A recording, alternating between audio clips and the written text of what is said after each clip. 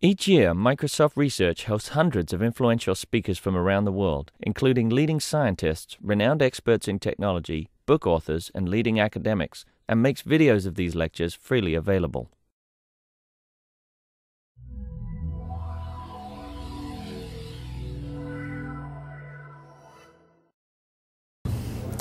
So it's my pleasure to introduce Liqian Luo from University of Illinois Urbana-Champaign. She's completing her PhD uh, at UIUC with Professor Tarek Abdelzaher. And before moving to UIC, she was at University of Virginia working with Professor Tarek and Jack Stankovic. Her research interest is in programming models and tools for distributed network embedded computing, such as uh, sensor networks. And we will hear more about her research from her talk now. Okay. Uh, hello, everyone. Welcome to today's talk. Uh, today, I'm very happy to come to Microsoft and talk about my research. Uh, today, I'm, my talk will mainly cover a major piece of my PhD research, which is uh, EnviroSuite, a programming framework to reduce the development cost in wireless sense networks.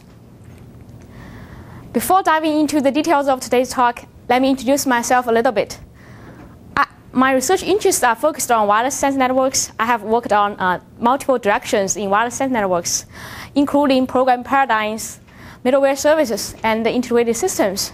Today's talk will mainly cover uh, a pro high-level program paradigm proposed and a couple of middleware services I developed. And I will also show you results we collected from a couple of real, uh, real deployed systems. First, uh, what is wireless sense network? A sense network is a network of uh, sensing devices. Each of such devices may have a, a microcontroller uh, to do computation and a radio to allow them to talk with each other. And each of them may also have sensors and actuators to allow them to sense and react to the environment. Uh, this picture actually shows a, a representative of a sensor node, which is developed by UC uh, Berkeley. We call it a mote. So sensor networks have actually received lots of attention uh, in recent years because of their unique features. They are so small in size that they can be deployed anywhere. They can be seamlessly embedded into the environment and interact with the environment. And also, uh, they can be carried to anywhere as you want, and they can operate without the attention of administrators. Initially, sensor networks are introduced uh, to uh, the military applications like target tracking and border control. Later on, people are applying sensor networks to a broader uh, category of applications, like uh, uh, environmental scientists are using them to monitor the nature and the creatures, and also they can help with agriculture, and they can help to protect uh, important infrastructures like the Golden Bridge. nowadays and in the near future, we will see sensor networks being applied to an even uh, broader category of applications. They, like, they can be used to uh, respond to disasters like Katrina. They can be used to uh, control inventory in supermarkets like Walmart. And they can also be used to uh, control the traffic jams in big cities like Seattle. And they can also be used to help the baby boomers generation live more independently. And they can also make the uh, gaming more interactive, like uh, we too did with their uh, accelerometers. And also, they can help to guide the visitors to an occupied parking space wherever they go, like the uh, space monitor application developed here by Microsoft Research. So, but a fundamental challenge that uh, prevents sensor network technologies to be uh, widely adopted is the difficulties in sensor network application development why application development is so hard in sensor networks. Uh, there are a couple of reasons. First, uh, sensor network applications have has to be developed in an event-driven way rather than a flow-driven way, which is more straightforward because they have to handle the high bandwidth, uh, high, high, high frequency interrupt uh, from the I/O devices, including sensors and actuators.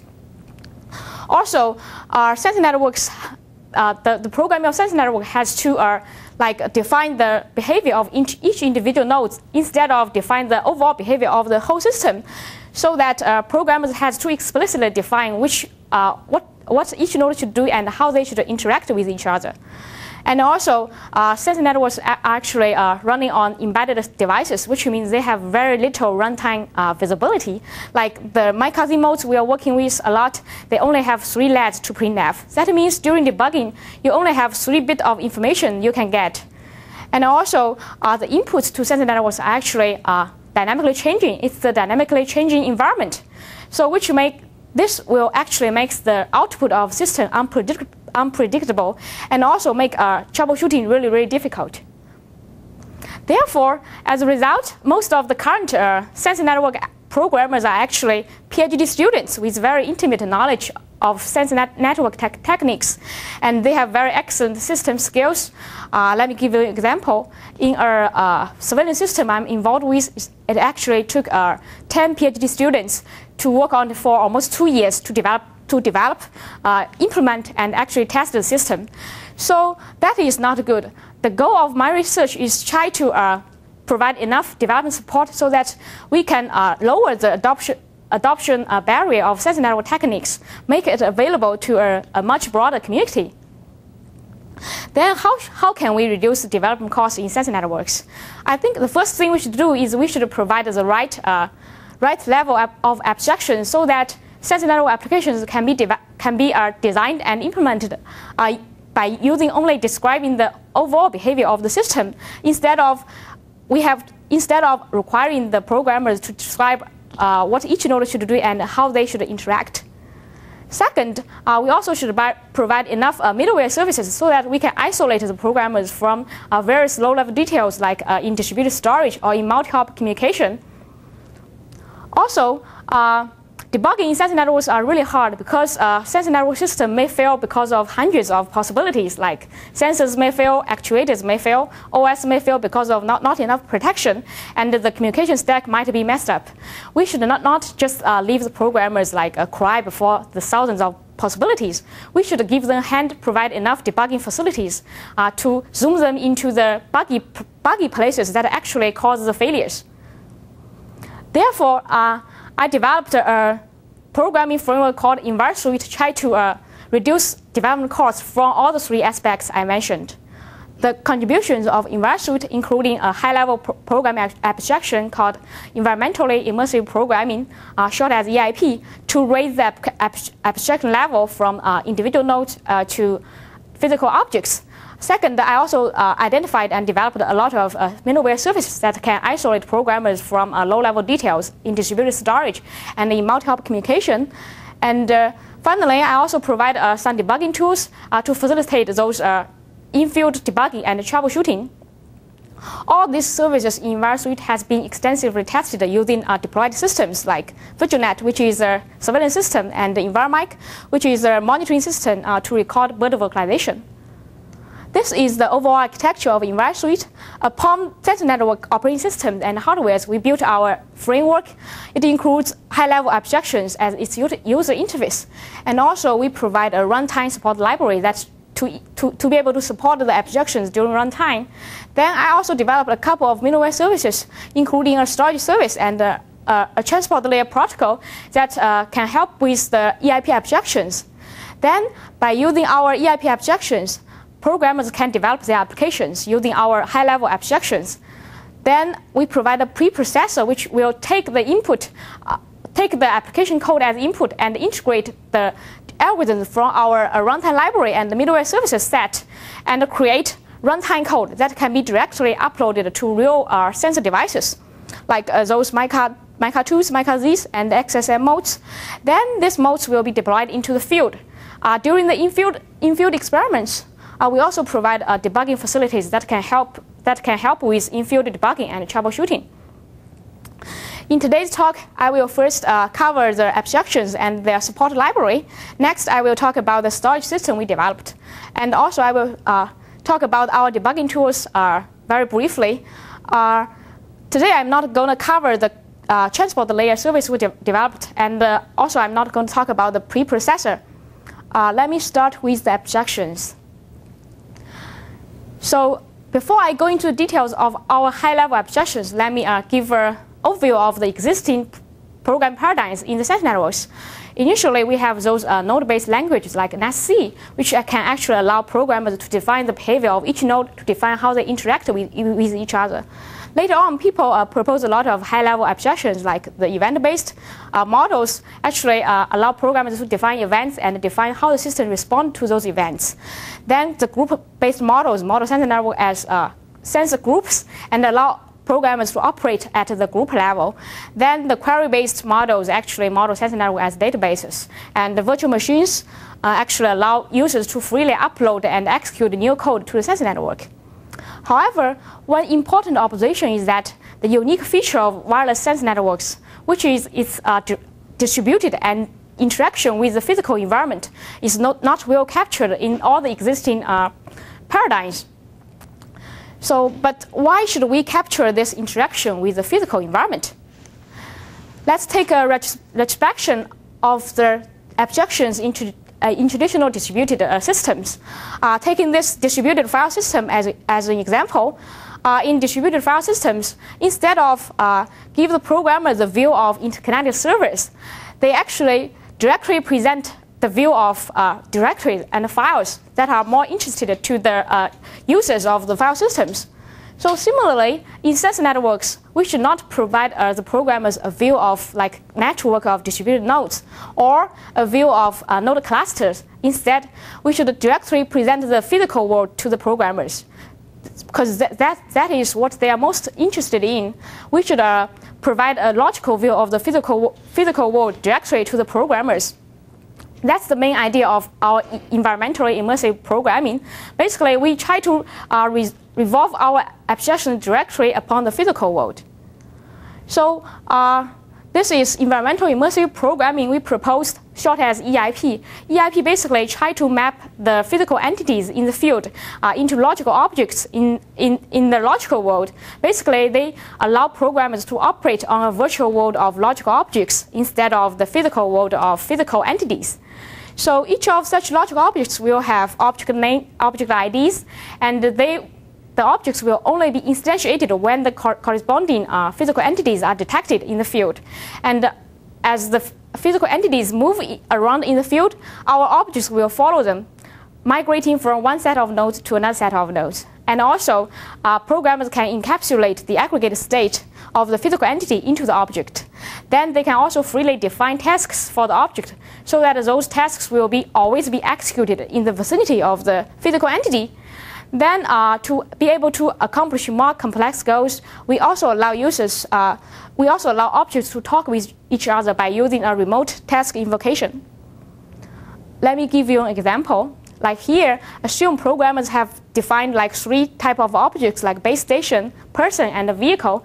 They basically need to define the sensory signature of each of such uh, objects and also define the aggregate state and also tasks uh, this base station don't have any sensory signatures because it's static. Then during system initialization, a base station object will be instantiated uh, during system initialization.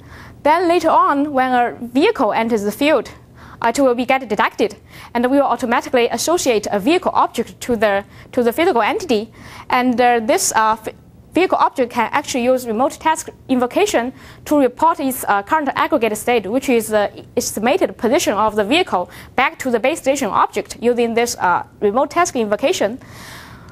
No matter this object moves uh, in the physical world, our logical object will follow it and continuously reporting, the, uh, reporting its current location to the base station. And when another type of uh, physical entity enters the field, which is the person, we will also automatically instantiate a person object uh, to be associated with the, with the actual person. So how such uh, object-based uh, abstractions can be supported at runtime. Next, uh, I will talk about our runtime support library to actually implement these uh, abstractions. Uh, in our runtime library, we actually provide a different kind of object management algorithms for different type of physical entities. Like uh, for those entities that are uh, small in terms of sensory signature and that are moving really fast, we provide tracking objects. Uh, examples including like uh, moving vehicles or moving persons in the field. And then for those uh, physical entities with large sensory signature and are not moving so frequently, we provide region objects. So basically, uh, this is uh, with a huge uh, sensory signature, and they are not moving so frequently. Then, for those uh, physical entities that are willing to uh, present themselves to the system, we provide, we provide self-identified objects. Uh, examples of those self-identified objects including like an owner of a smart home who's willing to tell the sensor network system that he's actually the, the owner of the system, he's Mike Uh, so for, for that kind of uh, physical entities, we provide self-identified objects. Uh, today's talk, I will uh, focus on these uh, checking objects because they are the most challenging ones because of, first, they are mobile, and also they are not collaborative. We are facing actually a lot of challenges when we trying to when we tried to support these checking objects including uh, like uh, context maintenance, which means like how to instantiate dynamically instantiate object and how to manage the aggregate state for the objects, and also uh, including uh, inter-object communication, which is uh, how to allow ob dynamic objects to talk with dynamic objects. Uh, today, I will uh, mainly focus on this uh, unique object rep representation problem, which is the problem of how to create only one object for each physical entity and how we can migrate the object as the physical entity moves in the field. Let me uh, tell you the details of the algorithm using an example. When the target enters the field, it will be detected by a group of nodes they will actually form a group, and the leader will be elected among them. This leader will actually instantiate this object and assign a name to this object. And it will also send out heartbeats uh, to the neighboring nodes, which are the green, green ones, uh, to tell them the context of the object. Then, uh, when object moves to another location, it will be always be detected by the followers who already know about the object context. So instead of instantiate a new object, they will just join the current object. In this way, uh, we can actually maintain uh, one object for each entity. And uh, then this new set of nodes will detect the object. They will, currently, they will join the current object. And the old leader has to retire because it no longer sends the target. Then uh, a new leader will be elected and it will recruit more followers. And, but the old followers will eventually forget about the object after they time out and they will erase the context of the object to ensure enough uh, time granularity. Then, uh, as we can see here, uh, this target is always wrapped by a set of follower nodes, so that we, we're, whenever it moves, it always gets detected by the followers, so that uh, we will not create spurious objects. We will just join the counter object. However, this algorithm is not perfect. Uh, there are certain conditions it has to meet uh, to ensure unique representation. For example, uh, this target should not be sensed by a node outside the awareness horizon, I mean the follower set. In this case, uh, this target is detected by a non-follower node which doesn't know about the object. In, that, in this case, a spurious object will be created. So uh, based on that uh, condition, we can actually derive the failure probabilities of, of this case. here, there's a there's an important uh, metric which is maximum backoff time t. Uh, this is used in lead handoff. Basically, our lead handoff algorithm work like this. Uh, the old leader will send out retire, retire messages. Then the, the current members, when they receive the message, they will set a timer which is randomly chosen between 0 to t. And uh, the one whose timer expired first will actually become the new leader. So based on these uh, parameters, we derive the failure probabilities as below. Uh, without going into the details of the equations, uh, the intuitive is that when the velocity is really high, we experience more failures. This is actually uh, proved by uh, our simulation results. Uh, this is simulation results I got from a TOSSIM simulator. Uh, basically, we deployed 40 nodes in a four, uh, 10 by 4 grid. Then there's one target that goes through the field straightly along the longer line. Uh, ideally, we should only see one object because there's only one target in the field. This figure shows for different target velocities on the x-axis, the number of objects created on the y-axis uh, for different uh, percentage of message loss. We can see that actually our algorithm can tolerate up to 50% message loss when the target velocity is less than 4 grid per second. If we assume this unit grid length is 10 feet, then that 4 grid per second can be mapped to 80 mi 89 miles per hour, which is already very good. However, we do see some spurious objects created when the velocity is really high because because of the failure conditions I've described uh, in the previous slide. There are also uh, other cases that our, our algorithm may fail. Uh, this is another case. Uh, basically, if we are not having enough nodes so that there will be node desert in the field, a node desert means a, an array that contains zero node. So if the node desert is so large that it's, it's bigger than the follower, than the uh, lead heartbeat uh, range, which is bigger than the follower set, That means we can never recruit this node n into follower set. In this case, when the target travel out of the desert, it will be detected by a non-follower, and the spurious object will be created.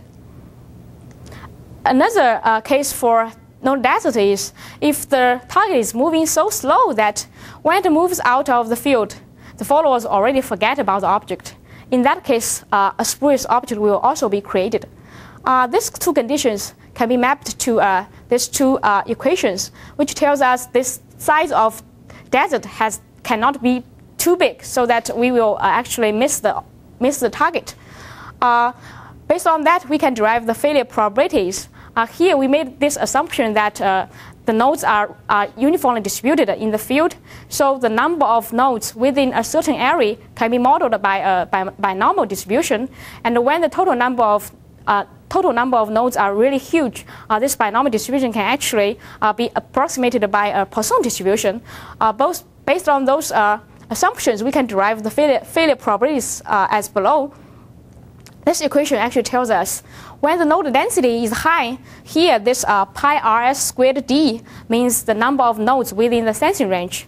If the number of nodes within the sensing range is bigger than 4.6, this uh, failure probability is always less than 1%. That's, that can be ignored. However, uh, when the node density is not so high, uh, actually the velocity of target really affect our algorithm. It tells us if the velocity is really low, we will experience a higher failure probability when the node density is not so high. So this is the. So, so the analysis, uh, you assume the Gaussian distribution in the uncertainty, or uh, what's the I, exception of the probabilistic model? I assume uh, I assume uh, nodes are randomly distributed in the field, and uh, so the number of nodes within an array can be modeled as a binomial distribution. And then this binomial distribution, when the total number of nodes is really high, can be approximated by a Poisson distribution. So based on Poisson distribution, we can say that uh, the, the probability that contains zero node in an array is actually E lambda. So this lambda is the node, actually the node density. So this is the simulation results we got. Uh, notice that this is a different graph from the from the previous one. Uh, here we are comparing different number of node failures. When more node when more nodes failed, actually we are uh, seeing less uh, lower node density. So for this uh, simulation, we see that uh, when the velocity is really low, actually we cannot tolerate really high node, node, node, node failures because when the node density is, is low, actually we cannot uh, uh, check target with very low, low speed because the follower set already forget about the target. Then we can actually tolerate up to 50% node failures when the velocity is between 1 and 4 for both uh, when the velocity is really low or velocity is really high, we do see spurious objects, which is consistent with the equations we derived. Now let's move on to a real test bed. Uh, here I will show some uh, experiment results we collected from a test bed of Mica, uh, Mica 2 mode. Mica 2 modes. Uh, we used 40 Mica 2 modes deployed in a 10 by 4 grid, and uh, we used both nesC and EnviroSuite to develop a tracking uh, system. Uh, actually, these two versions are are different. This for this nesC version, it is actually a node-based language. Uh, it requires programmer to define the behavior of each individual node. Uh, in this nesC version, uh, each node will only report their locations to the base station when it detects the target. However, in the EnviroSuite version, uh, this uh, this, uh, this estimated uh, position of the target is actually maintained by our group management algorithm. The data aggregation is automatically done in the field, and only the final result is, is reported to the base station. Uh, as we can see that uh, in terms of number of modules, uh, nesC version used 12 modules, but our EnviroSuite only requires 3 modules. Then in terms of code length, this nesC version actually requires 3,600 lines of code, but our EnviroSuite version only need 200 lines of code. This tells us actually EnviroSuite can allow programmers to uh, write simple code for their applications. So you have this preprocessor which converts that into the HiNews uh, lines of code. Have you counted that lines of code versus the, uh, the native implementation, you see whether they are on the same order of magnitude or not? Uh, actually, the compiled version of EnviroSuite is a bit of, uh, is actually larger than the 3600 because we have those uh, intelligent uh, uh, local aggregation going on. What's the rough size? The uh, I think it will be uh, a thousand or two thousand bigger. So that's not too much different, right? Say like some 4,000, 5,000. Yes, because this uh, actually this uh, preprocessor will only select the re required uh, algorithms and integrate them, not the whole library.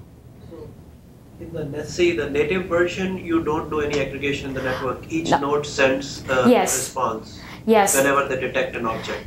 Yes. So to try to make this programming simple, we just did a, the, the simplest scenario, which is every node just report their location back to base station. Then the base station will do some uh, offline analysis to try to get the current location. This code length is then just for the code on the node? Yes, just for the code on the node. To detect the object and report it back to the base station? Yes, including like routing and uh, detection algorithms. Yeah. Our now I will show the performance of these two algorithms, uh, two implementation versions. The top graph shows the uh, trajectories of, of trajectories we got at the base station. We can see that uh, the trajectories are actually similar. Then the bottom graph shows the number of packets sent at each node. We can see the nesC version actually send more packets when it's close to the base station, uh, but the EnviroSuite version actually has a very uh, balanced uh, number of messages sent out because it, it does local aggregation to be able to uh, reduce the number of uh, packets. So this this tells us that investigate. What's X again? I'm sorry, I missed it. The bottom one? Yeah, the axis. What's X? X and Y is, is uh, the, the just the axis. So each of the bar actually shows a node. So we have 40 nodes in the field. This shows for this node how many messages sent out. So smaller x means closer to. Base station is actually located uh, in the in, in this corner. In this corner. Ah. Yes.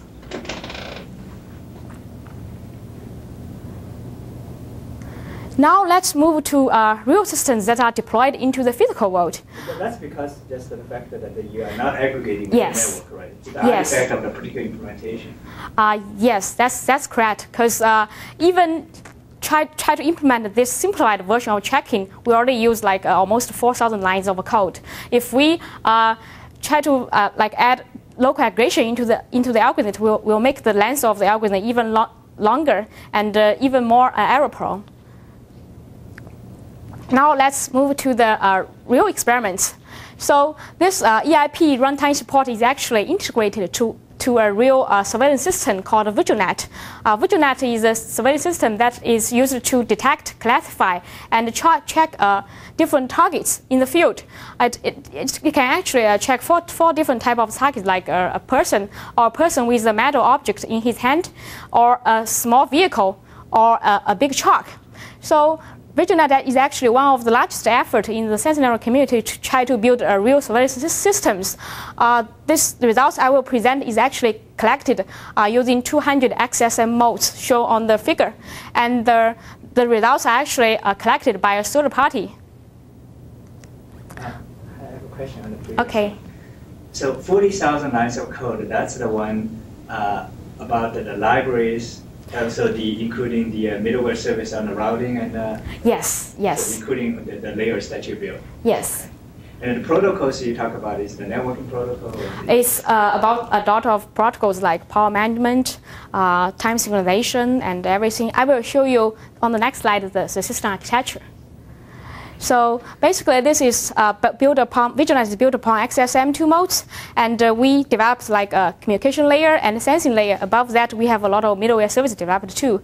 Then about middleware service, we, we have this application layer which actually get the current location of the target and uh, the current velocity of the target. Then report to a remote command and control center, uh, which is uh, far away from the real deployment.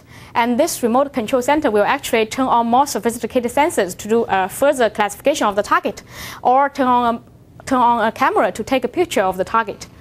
So uh, these three modules, including checking, data aggregation, and group management, actually adapted from the EIP runtime support.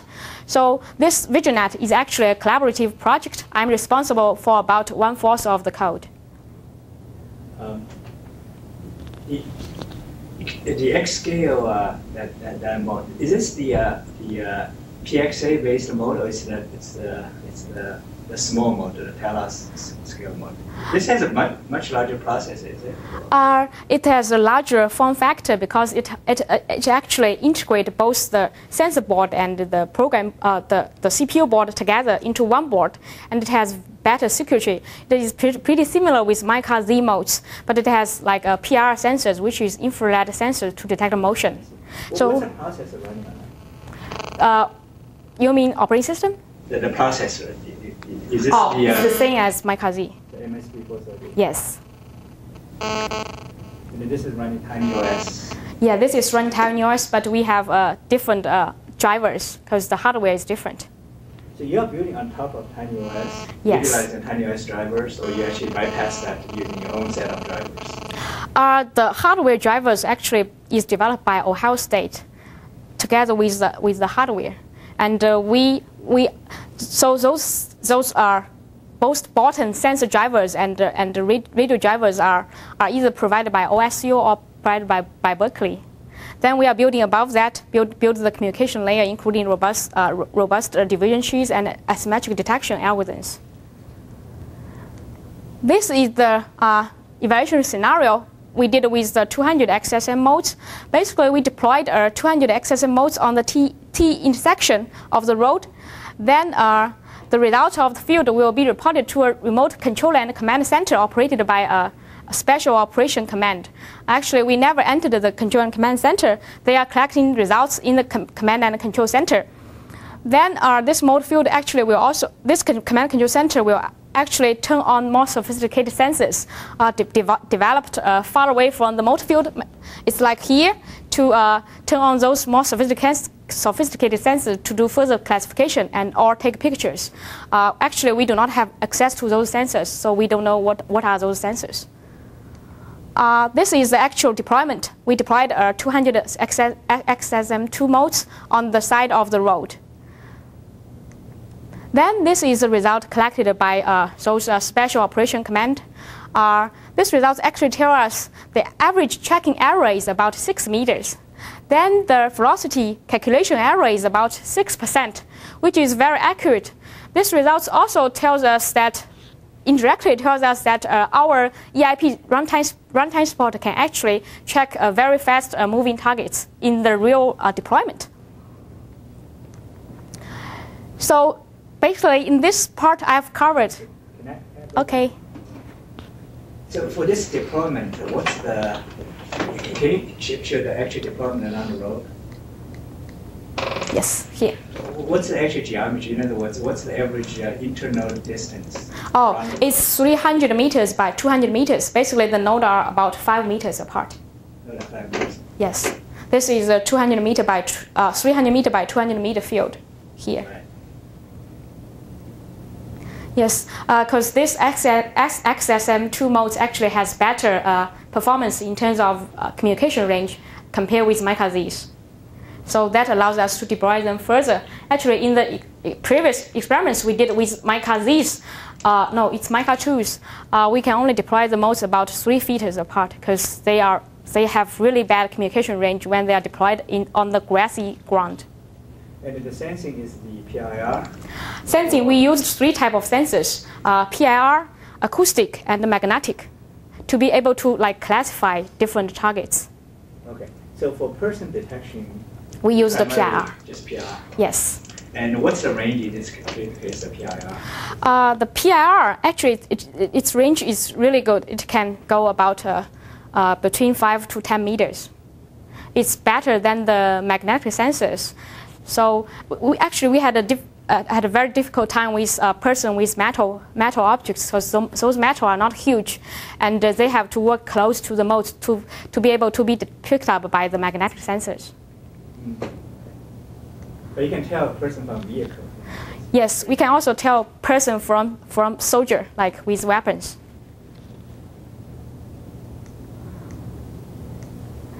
So in the first part, I covered uh, the high-level program paradigm I, proposed and also showed its promise in a real deployed system. Uh, next, I will talk about a storage service we developed at uh, UIUC. Uh, so why we need a storage service? This is to allow the objects to deposit their their states in the network. So why we need that? Uh, so far, we have assumed a connected operation model, basically all the objects they can directly talk to a base station. The whole sensor network is connected with the base station so that the the, run, the uh, real-time state of the object can be reported back to the base station uh, in real time. Uh, this gives us the benefit of real-time information access. Uh, this benefit actually is very critical in uh, military type of applications that, like those surveillance systems. But uh, do we really need real-time information access in all the applications? Let me give you an example. Uh, recently, we met an ecologist from uh, National Resources and uh, uh Environmental Science Department. Uh, his name is Michael. Michael is actually studying birds. Uh, he's really interested in uh, explain two unknown phenomena of, about a bird. Like one is those birds that are mostly active at the daytime. They they like to sing actually at night, and also those birds they like to sing at their loudest sound and and in the uh, highest frequency during the first light of a day. So uh, what he planned to do is he want to record the vocalization of the birds and try to uh, deploy the system for long term so that he can he can find out whether this is associated with like uh, mating behaviors or something else. So after he heard about uh, sensor networks, he's really interested in using sensor networks to collect bird vocalizations. Uh, what he plan to do is just like to deploy sensor network into the field, then let them stay there and collect data for several days or several months. Then after the whole experiment is done, he can get the get the sensor back and also the data back. Then he can do offline analysis to, to find out what's the reasons for those two phenomena. Uh, in such kind of application scenario, actually we do not need a real-time information access. Actually, a lot of other applications fall into the same category as this application, like the Great Duck Island application, and also those uh, uh, wearable sensor networks that try to uh, track the activity of a person. So uh, we think we no longer need the real-time information access benefit of uh, in such kind of applications. What we should do is we should just go disconnected without a disconnection to the base station this actually even gives us more benefits. Like we now don't need to worry about base stations, don't need to worry about how we can power up the base stations in the wilderness and how to protect them from animals and severe weathers like like the rain in uh, at at Redmond and the the winter snow in uh, our Champaign. Also, we don't need to worry about maintaining 100% connectivity. This is actually really hard when there are a lot of mobilities in the network. In, in, in the network. So, but what we need is a storage system that can actually uh, use the in-network storage, can maximize the in-network storage to reduce data loss. That's why I developed a storage system called EnviroStore. This EnviroStore actually can allow those objects to deposit their observations of the uh, physical entities in the network, and it will it can actually isolate the concerns in distributed storage management when the network is actually operating disconnectedly. It, it mainly uses uh, two mechanisms to maximize in-network storage. One is using a data redistribution between uh, the individual nodes. The other is try to always take best advantage of uploading opportunities. Like the operators may visit the field uh, sporadically, uh, bring them with, uh, take, taking with them uh, PDAs. Then our storage system can actually automatically detect the uh, data mules and try to upload data as soon as possible to relieve the uh, storage uh, load in the network. Using this storage system, actually, we are able to uh, develop an acoustic monitoring application called EnviroMic. EnviroMic can actually detect and record uh, interesting sound in the field. Uh, when the acoustic events are detected, uh, we will invoke this uh, group management algorithms, which is uh, part of the EIP runtime support, to dynamically designate one node in the vicinity of the target assign it the task of recording, then this node will turn on its microphone to record the sound of the object. Attach a timestamp to the recorded data and store it into the local flash of the node. Then uh, the part of how to balance the data between different nodes and how the data can be uploaded to a base station at a later time is automatically handled by EnviroStore. Then this group management algorithm is actually adapted from the EIP runtime I've uh, introduced uh, in the previous slides. So, so are you saying that uh, that uh, there's only one uh, sensor node got elected to record the acoustic waveform, yes. where the others are suppressed? Yes. From detecting. But, uh, but um, so you, you, assume that uh, if there are two birds that actually are singing, but you only very close by, and you only need one sensor to detect them. Right? Uh, yes. Yes. I mean, Basically, we just uh, detect uh, detect sound. Then uh, within within the range of uh, this uh, follower within the awareness range of the group, there will only be one node elected to record the sound because we think within certain range, one, one, one, record, one recorder is enough. I see. So if actually the two birds are far apart, but they still can, uh, can hear each other, you still actually would uh, take one node to record both, or you would actually possibly would use two nodes? Uh, it really depends on the distance of the bird. If the bird are singing so loud that uh, they are detected by the same group of nodes, only one will, will start its recording task. So the main purpose of using EIP runtime here is try to uh, reduce the data redundancy. Try to only use one node uh, to, to record the data. So this is the uh, uh, indoor experiment we did with EnviroMic. Uh, in this experiment, we used uh, modes uh, in the, on the test bed, as you see on the, on the top figure. Uh, basically, this target, it will, uh, it will go through the field straightly and, and read the title of our paper. Then, its sound will be picked up by one node at a time during runtime, like this. So the, the red node is actually the one elected to record the sound. So at one time, only one node is recording the, the, the sound. Also, the top uh, blue node actually is, is, is used as a baseline. Basically, the user will also hold a node in his hand. This node will continuously record as record uh, the, the sound of the target as, as the baseline to compare with as a ground truth. So later on, we can collect, collect the data from, from the sense field and concatenate them.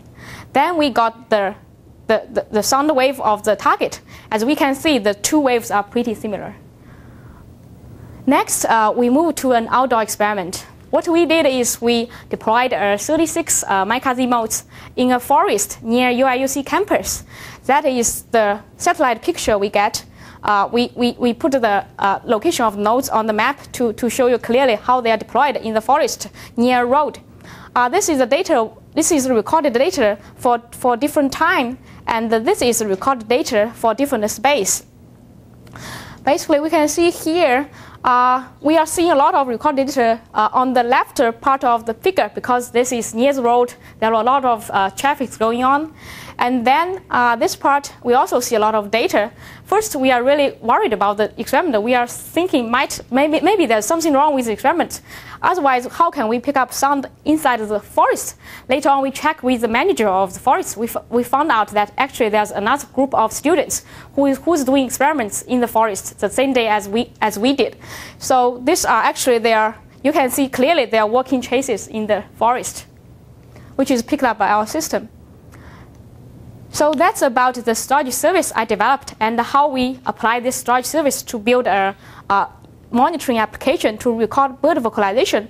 Uh, however, in the figures I showed, uh, we actually uh, didn't uh, record any bird vocalization data because it was in the winter and it seems all the birds are actually still in Texas or Florida and having their winter vacations. Uh, next, I will talk about our effort in debugging facilities. So why we need debugging facilities to reduce development costs? Uh, we had a lot of uh, hands-on experience with real systems. We found that actually programming is not the hardest, hardest uh, part of uh, application development. Development. What is even more difficult is debugging, because Sensor networks actually lies in the intersection of a lot of different systems. Like they are, they have, they are actually a multi-threaded execution, which is much harder than single-thread execution because we because we have to handle race conditions and synchronizations. And also they are embedded systems which has very little runtime visibility. They, like the most we use only has three LEDs to printf. Imagine that, how can we debug such a system? And also they are distributed systems. That means there are a lot of uh, delays, unbounded delays between our communication, and the, the, the, node may fail, the remote servers may fail. We have to uh, find out whether it's the problem of the node failures or whether the problem of the systems. And another, another difficulty comes from the uh, input of sensor networks. The inputs to sensor networks are actually the dynamically changing environments. They are not uh, repeatable. That means the system's behavior is unpredictable, and it's really hard for us to troubleshoot in such a system. Then we decided to uh, do something in the debugging part to, to, to, more, uh, to reduce the development cost to more. What should we start with? we think uh, the, first, the first thing we should do before we can debug a system is to, to make the bugs repeat themselves. So that's why we developed a log uh, service called EnviroLog. EnviroLog can actually capture and replay the environmental inputs. How can we do that? Uh, one observation we have with uh, event-driven OS like TinyOS is that the sensory data actually are transferred from model to from modules to modules uh, through the function calls and their parameters. So what we can do is we can just log the function calls and their parameters and their original time sequences. And later on, we just replace them in the original time sequence they are issued so that as if the environmental inputs are the same as before. Like here, uh, we show, I show the log modules and the tested modules. In this system, we want to uh, provide a repeatable input for the tested modules. Uh, programmers can easily uh, insert some simple annotations to their program. Then our preprocessor will automatically integrate EnviroLog into their application code. Then during the, run, during the record stage, uh, the input will go through the modules to modules until reach the output. At the same time, the output of the log modules will be recorded by EnviroLog into the local flash. Then later on, uh, during the replace stage, we can disconnect the output of log modules from other modules so that the input actually will not affect our system output will not affect the test modules. Instead, the data are coming from uh, local, local flash by EnviroLog and feed, get fed into the test modules so that we can provide repeatable input for the test modules. How good is EnviroLog in terms of replay accuracy? Let's look at the uh, results we, we get uh, from VigilNet. Uh, here, basically, we used EnviroLog in VigilNet to record the output of the three sensor drivers, including magnetic sensor, uh, acoustic sensor, and PR sensor. Then we replay, replay the output of sensory drivers to see what's the final output of the system. The left figure actually shows uh, the trajectory of a person uh, during recording, and the right figure shows the trajectory of the person during replay. Uh, th in this experiment, we deployed uh, 37 Mica modes in a parking lot near UVA campus. Uh, we, we, we, let the person walk through the, uh, uh, the, the parking, parking lot. Uh, we can see that these two figures are pretty similar, which tells us actually EnviroLog can replay the environmental inputs accurately. So what did EnviroLog actually help VigilNet First, it can help to see like uh, how our system, how our internal variable change during runtime. Basically, EnviroLog allows you to log the value of variables into Flash and, uh, and collect them later. This bottom figure actually shows the voltage we collected at each mode before and after the experiment using EnviroLog. And also, uh, EnviroLog can be used to see how a parameter can actually affect the performance of the system using uh, using repeatable input. Basically, we record the trajectory of a, we record, uh, no, not trajectory, we record the sensory input of, uh, of a vehicle. Then we replay it again, but with, with, with another value for the same parameter.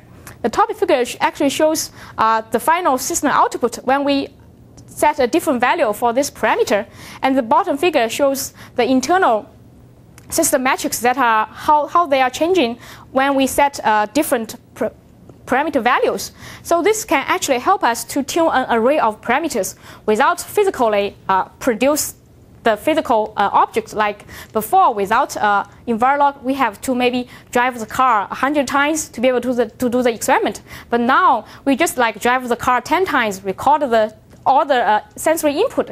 Then we replay the recorded, recorded data so that we can tune an array of parameters without uh, physically generate the target. Also, another thing uh, EnviroLog helped with VigilNet is actually it can, uh, it can uh, it can uh, simulate the target so that as if the target is running faster than before. So we can actually replay the uh, recorded data in a, in a faster velocity so that as if the target is running much faster than before. In this experiment, we did because we are doing it in a parking lot, this uh, vehicle can only drive at maybe, maybe 5 or 10 miles per hour. However, uh, with the help of EnviroLog, we can actually accelerate the vehicle to make it run at 6 times of its original speed. Uh, originally, it's 5 miles. Now we can simulate uh, 80 miles per hour to see how the system performs for targets that are moving really fast. Actually, the uh, the achieved repeatability of environmental inputs uh, provided by EnviroLog can allow us to do more things. Uh, like we can try to debug a system. Uh, usually, in, when we debug VigilNet, um, if we drive a car through the field, if the system doesn't work, we, we, we will say just like uh, let's drive the car again. But actually, this, this, this time, when the car drives through the field again, it's a different sensory signature. Uh, we may not see the bug again. However, with the help of EnviroLog, we can replay the exact uh, sensory signature of the car and uh, to see whether system, uh, whether we can uh, change the code of system to make the system work in, in the second time. Also, it can be used uh, to compare different implementations of the same of, of the uh, of the same algorithm. Also, uh, we can use it to uh, to statistically evaluate the performance of a system without physically generating the, the target. And also, this uh, recorded data can be fed into simulators to make simulators more realistic. What's your question? Is time synchronization a part of EnviroLog, or is that not assumed to be present? Uh, yes, we actually used the time synchronization from uh, Vanderbilt. Uh, what we did is we first uh, synchronized the whole system before uh, when we uh, send out the recording command. Then during runtime, the time synchronization algorithm will be stopped. They no longer try to synchronize the system because we doesn't want to interfere with the real application. Also, during rep before replay, we will synchronize the system again, then make sure they can replay the uh, re replay the recorded data simultaneously. Another uh, another tool we developed in terms of debugging is called a sensor network troubleshooting suite. Uh, in this uh, sensor network troubleshooting suite, we try to apply machine learning techniques to automate failure diagnosis. What we did is uh, we first uh, collect a lot of data, uh, a lot of different system metrics, including like pa packet traces that can be collected by non-intrusive, non-intrusive eavesdropping, and also we can collect the execution traces using EnviroLog, and also we, we can collect some environmental measurements, use, use additional sensors. Then in the backend, we will uh, get all the collected data, run uh, machine learning algorithm to find out what are the subset of the metrics that are highly correlated with the system failures. So uh, I will give you a simple case study on EIP runtime. Basically, what we did is we uh, collected uh, packet traces using overhearing by deploying extra debugging modes in, in, in the field. Then uh, we, we get all the packet traces back and uh, we uh, derived a lot of system metrics like uh, the, the count of uh, different type of messages and, and the time difference between different messages. And uh, then we mark all the metrics as good as, as good during good period or during bad, bad period. Bad means uh, the period that we failed in maintaining this unique representation. Then uh, using this uh, metrics and also the, the marks, uh, we can actually uh, use uh, machine learning techniques, uh, algorithms to generate rules for failure cases and for, for success phase, phases. here we used a machine, machine learning algorithm called PART, which basically generates rules incrementally for a certain case. Here are the rules generated by PART. This M2, M2L actually means the number of messages sent from members to leaders. And uh, the time difference actually means the time difference between uh, older a heartbeat from, from the current leader and a heartbeat from the previous leader. And uh, this distance actually means the ge geometric distance between last leader and the current leaders. These metrics are actually only a subset of all the metrics we collected. However, this algorithm actually tells us that uh, when if the group only contained one one leader and no members, our system will fail. That means uh, this group is only a singleton group. We don't have anybody else to hand off the leadership. And also, it tells us if there's not enough sensory, sensory coverage, then our system will fail.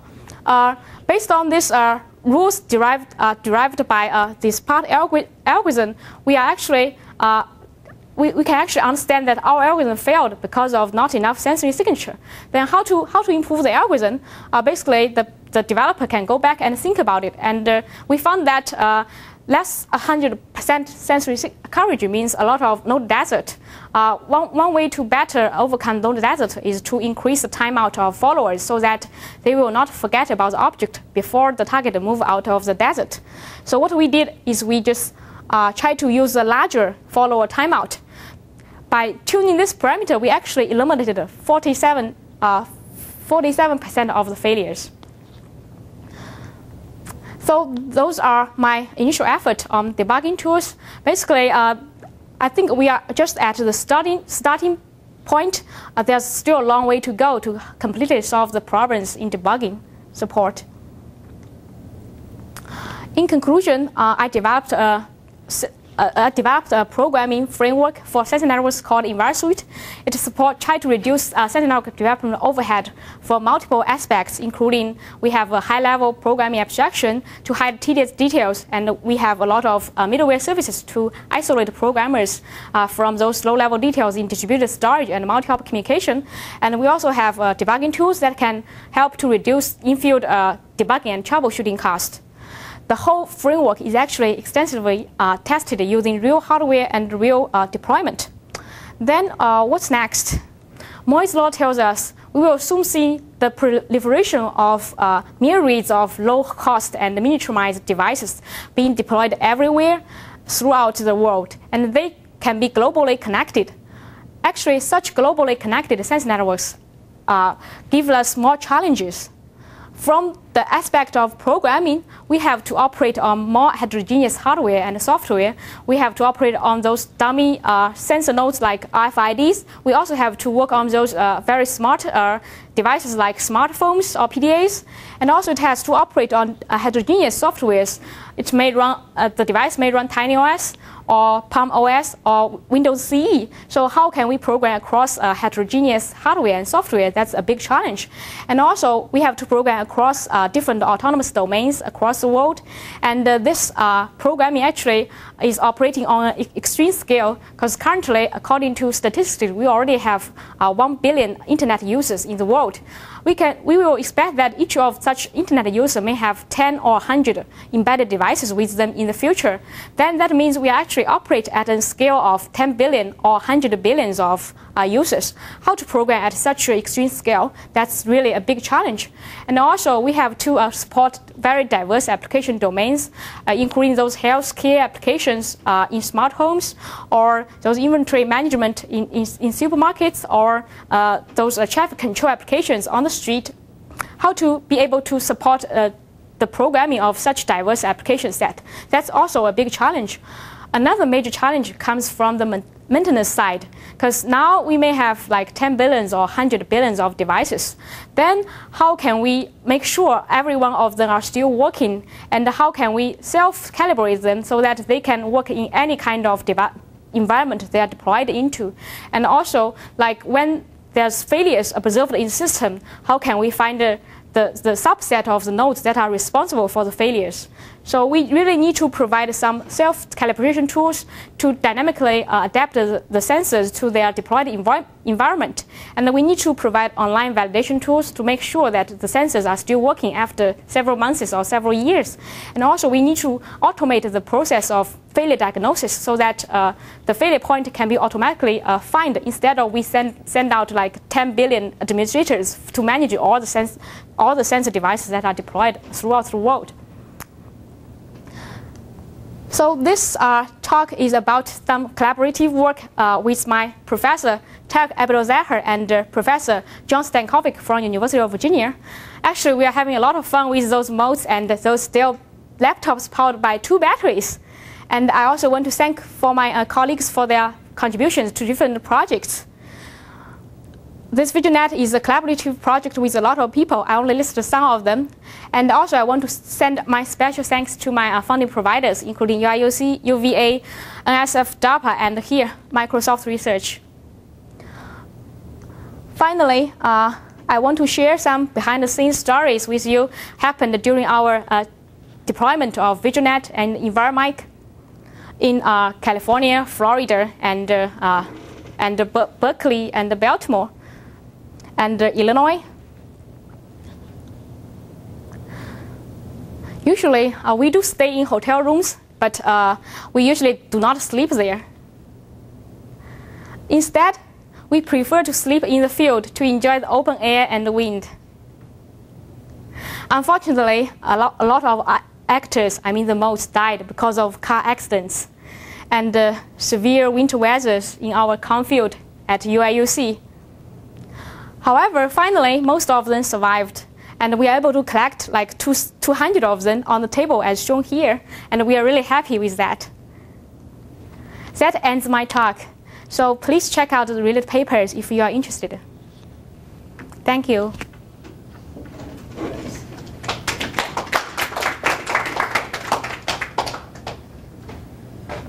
Uh, now we have some time for more questions.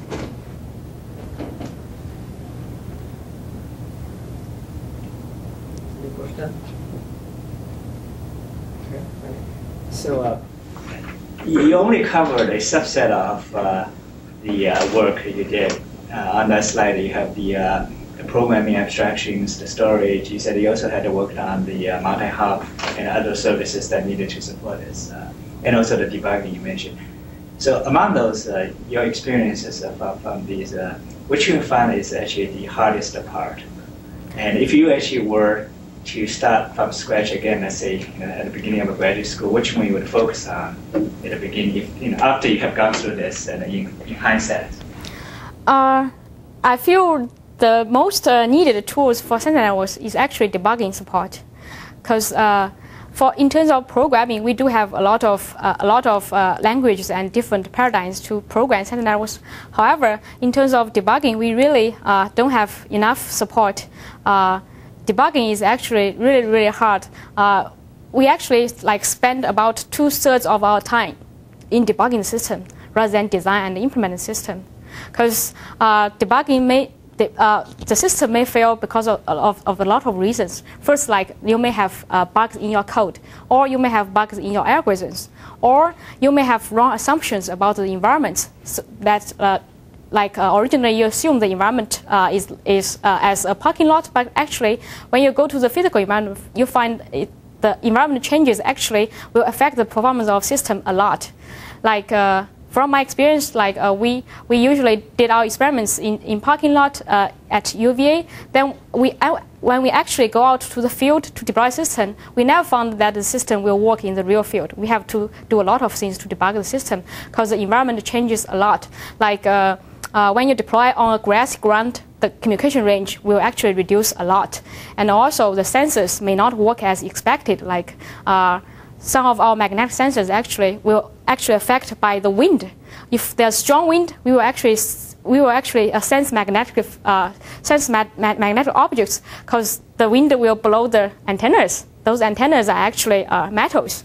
And also, a strange thing is that like those magnetic sensors are can actually be affected by the weather. Like whenever we see a, a sunny day with with cloud, if the cloud happens to cover the cover the, cover the uh, top of the sensor, then the sensor will also see magnetic readings. So for those kind of unexpected environmental uh, effects, you cannot uh, like expect them when you're designing system or implementing system. You can only find it when you actually deploy system. So during system deployment, since we have so little uh, runtime visibility, we really need a lot of debugging tools or failure diagnosis tools to help us to zoom into the exact bugs that cause the problem.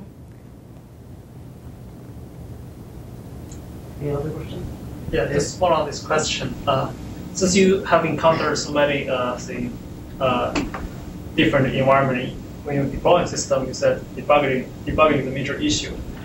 And so has this uh, uh, have those real uh, real world experience actually contributed to you to, uh, to you know have used this real world experience to come back to modify, for example, your upper level abstraction or you know practical design. I think if you have this you know use this real time experience, the real world experience, you might you know next time you might be save your much debugging. Uh, Yes, so basically, uh, uh, what I found is that those uh, in-field uh, experiments actually always, uh, give me uh, more ideas about what direction I should go. Like initially, I was just assigned to this surveillance system project, so we worked a lot with the surveillance systems. But later on, we found that in in other applications, actually, those are disconnected they are operated disconnectedly. So there's a need for a storage system. And also later on, when I has have more experiences with those uh, real deployments, we found that debugging is really hard. And also uh, those uh, to, to evaluate the system is really hard because we need to physically generate the targets. That, that, that, that is the motivation of my later work. So basically, every time I go to the field and have some new findings, actually it motivates my new research in, in the next step.